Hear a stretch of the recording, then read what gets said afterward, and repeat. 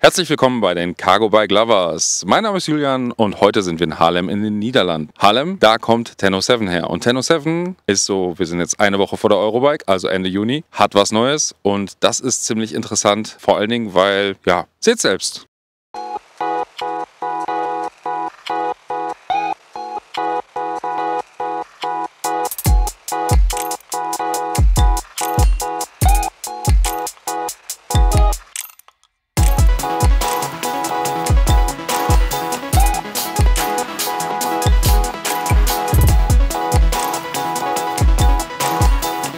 Ich habe mir den Daniel eingeladen und Daniel werde ich jetzt mal interviewen, was es so alles Neues gibt. Ich hoffe, es ist in Ordnung, dass wir auf Englisch sprechen. Für all diejenigen, die es nicht verstehen, wir werden Untertitel einblenden.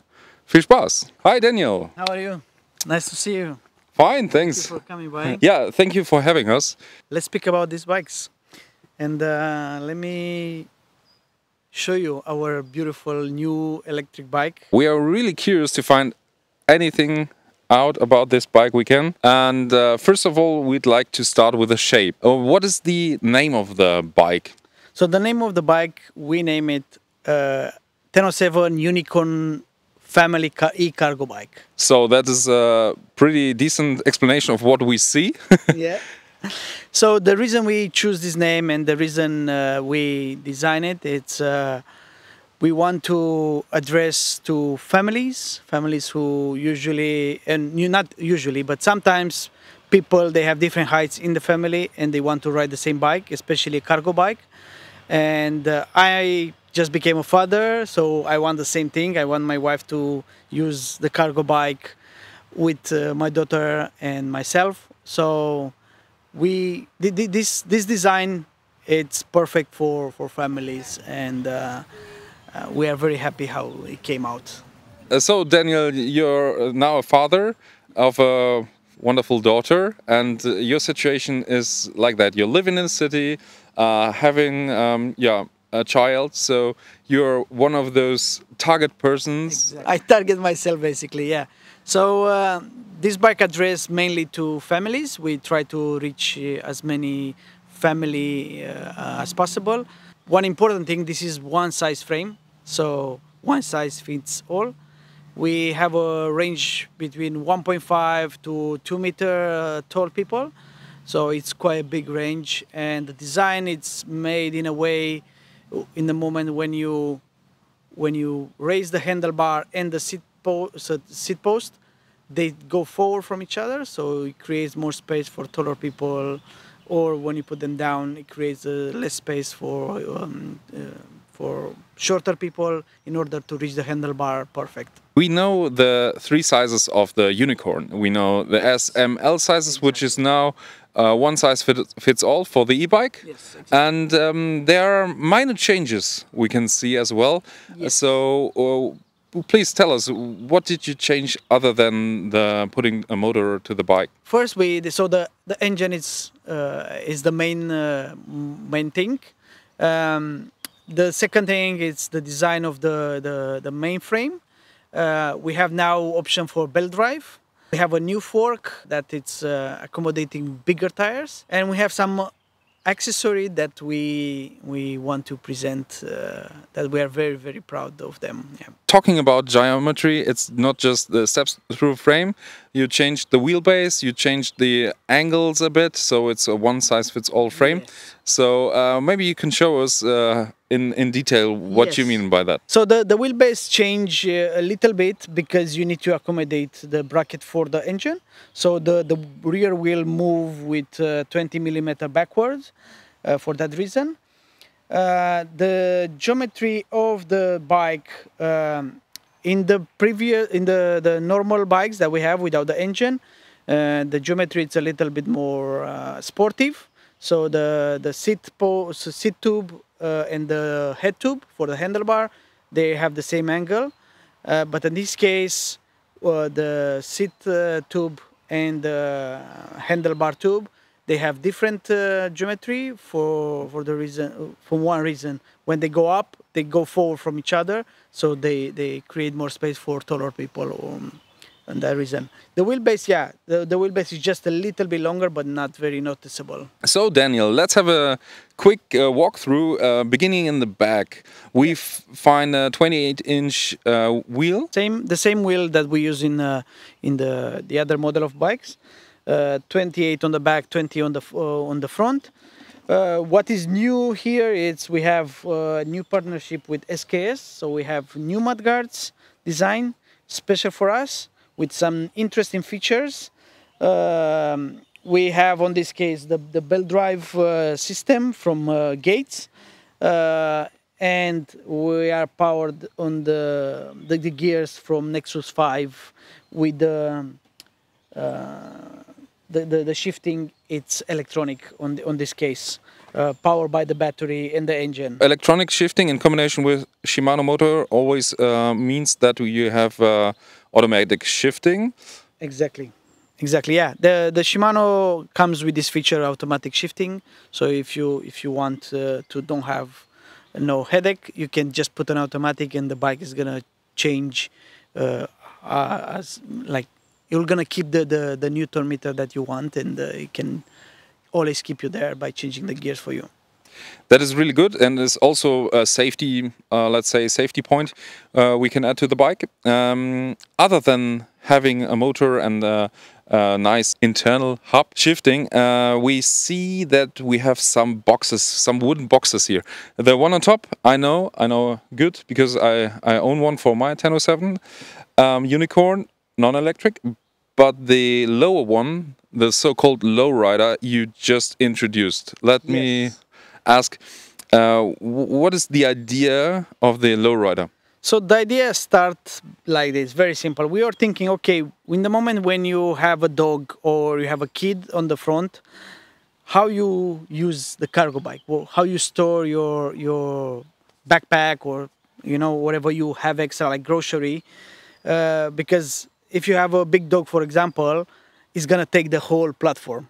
So you don't really have space. You're not to put your grocery with the dog there you know? So we were thinking okay what options you have on the bike? Of course you can put a rack on the back. You can have uh, panniers. That is is very known solution. But we saw this space here between the the front wheel and the pedal that is not used. It's something that it's wasted in you know? It's wasted but so we try to find a solution and we came up with this idea of a lowrider and we use the same uh, manufacturer of our uh, top uh, box uh, with the same system. So it's a foldable box, uh, and the frame the frame uh, is made from steel. is made here in Netherlands um, by Steco. one of our company that we are working with, we, we do the same, the rack for child, the rack it's made by uh, is made here in Netherlands. We are very proud of that. Yeah. And for those who didn't know Ten07 Unicorn yet, the frame itself, the, uh, this label here says it, uh, the European label. So um, you are proud sourcing most parts uh, here in Europe. Yes. Yes. So the, the frames are made in Czech Republic. Uh, and uh, wheel sets, for example, we make them here in Netherlands. It's everything made in Netherlands from sourcing the, the, the actually rims. Uh, so our manufacturer is making everything here, building them here. Majority of parts, engine, uh, brakes and everything there from Shimano. We have now some parts from Ergotec, made, made in Germany. So we, we try, uh, the boxes are made in Germany too. It's uh, it's very, very nice collaboration with, uh, with our German friend.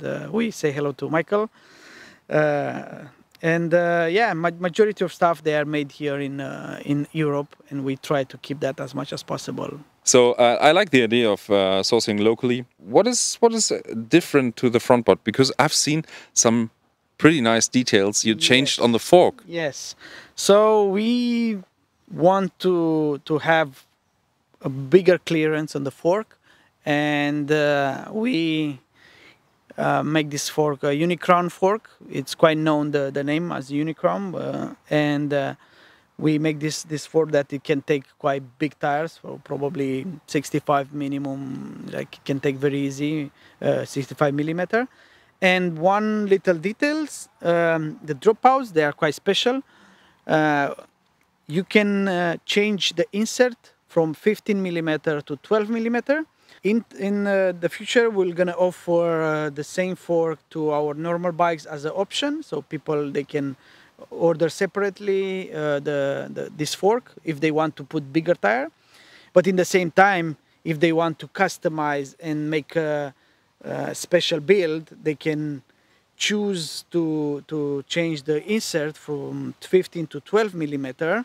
15 is our um, our standard, but 12 millimeter if you want to put a special hub that usually in 15 they are not that many variety. 12 is more used in the in the world, so you can change the the insert.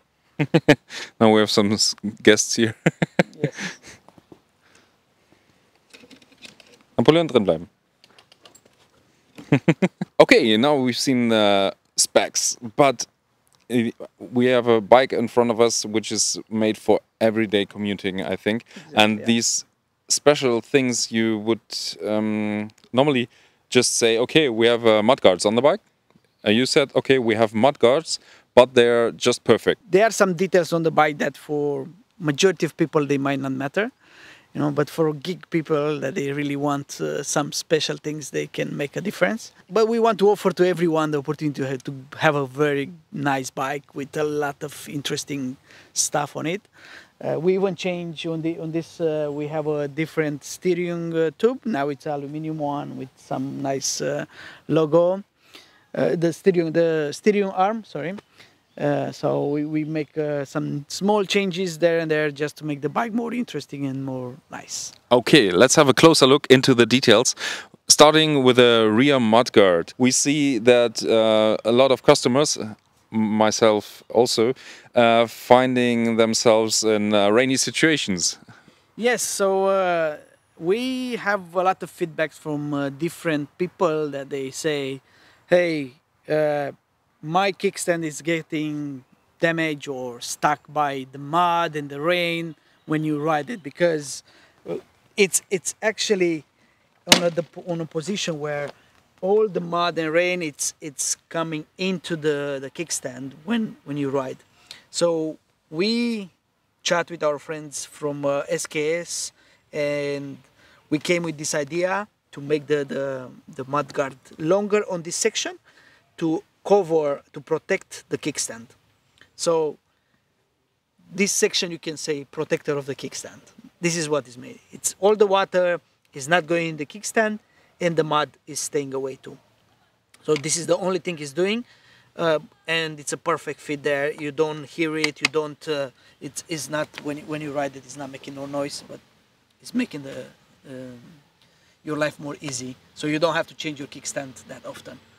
Okay, and uh, combined with a Gates belt drive, um, yeah, you will have a mostly um, a, mostly a bike which you don't have to uh, take care of that much. Exactly. So the the combination with the belt belt uh, drive, it's uh, it's very nice because yeah, less cleaning of the chain and uh, less maintenance. And we have the Nexus 5, which is quite strong uh, hub and yeah, it's it's made the Nexus 5 is made special to work with uh, with uh, uh, these engines. Ten07 it's banana time means also it's geek time. Uh, this this bike has so many details. It's it's hard to to tell uh, every little detail on it. I hope that I can get it in frame and the and the B-roll. but um, yeah, let's let's talk about the front mudguard, uh, which is also yeah. changed. Yes, so the front mudguard, we decide to use all the, the, the dropout hooks. So we make it longer to protect the frame more for rain the same. And we make a double, uh, double stay on each side and a longer mudguard. And it's way longer on the, black, on the back. Um, the SKS have this uh, spoiler that is very flexible and very wide and it will protect you from water way way better. So it's, it's very low. Even if you hit a curve it's not gonna break because it's quite flexible. So you're gonna be well protected and uh, sure that the water is not gonna come on your feet. So yeah, here, as usually, we have our uh, hook for light, and in this case, it's a light that is powered by the engine, and it's in a perfect position here. Uh, so it's protected from anything that can come from the front, so you don't hit it, you don't damage it, and it's it have space for for the wheels too, so you'll be you'll be fine. Now we've seen one spec of the bike, which is uh, with the Nexus 5, but you will also offer a different um, gears. Option, yeah, yeah. So we have basically two options: one with belt drive and the Nexus 5, and the other one is uh, with the CUES and the chain. So CUES, they Shimano uh, say that the chain uh, is three times stronger than uh, uh, than a normal chain. So that make makes this this um, this one uh, way better for this electric engine. So it's it, if I understand well, they are designed to work together very well. Yeah, we just rode the bike, and I can tell you that uh, the CUES uh, we've seen on other cargo bikes as well uh, with the external gearing is really a game changer because uh, you just come to a stop at the traffic light and um, yeah it shifts while you're braking. So it uh, turns the chain ring the front chain ring and in the back they uh, the gears are changed. So it's a game changer for all those who want to have the good uh, external gearing, which is nice and sportive and active, and you have all these uh, different little steps. Uh, and yeah, having the function of automatic shifting. Very nice and smooth. And we use the 10 speed because 10 speed we think it's enough uh, and it's strong enough for, for, for this engine to work well. So in this case, we have a cassette of a range of 11 to 43 teeth, and um, yeah, that gives you, even with one by, a good range for going up and down hills or uh, climbs and uh, yeah, even in a descent, you can pedal along. Okay, Daniel, one size fits all means that we have to somehow um, make it happen for every for rider. Yeah, yeah. So, yeah. So in this case, usually this bike they're gonna come with a 550 long seat tube, seat post. Sorry. Uh, of course, you can uh, cut it shorter if you really want to go way down. Uh, but if you are tall, you're not going to need that. So you're going to be able to put it up, quite up. And uh, in the same time, we have this up and down uh, turn uh, stem from uh, Ergotec that you can put it up to. So that will to allow you to, to use the bike when you are very tall. And I was saying earlier, the geometry it's a little bit changed. So the angles of the seat tube and the handlebar they are a little bit different. So when they go up they go four from each other. So you have more space uh, to to ride a bike. So and, and this uh, this stem it's quite nice because you can even turn it. So when you remove the platform as you guys know uh, this is with the removable platform you can turn your handlebar and uh, you can you can use very small spaces to, to put your bike. So if you like and have the opportunity, just come by at Eurobike in Frankfurt, which is now taking place. And uh, we really like to invite you, or Daniel likes to invite you, yes.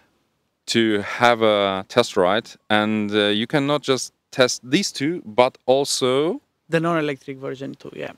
So come and visit us at uh, Eurobike between uh, 3rd and 7th of July.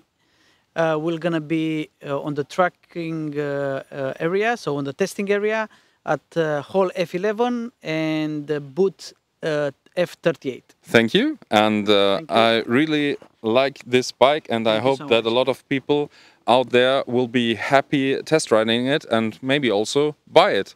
So uh, if you like this video, just like and subscribe the channel and um, yeah, see you next time. Bye.